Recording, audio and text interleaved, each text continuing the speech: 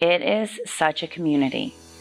You know, it's, again, we have been in other schools in the past and the parents really didn't take the time to get to know people. The teachers didn't, the pastor didn't. You know, it's, it's really a community. You really feel welcome every time you walk through the door.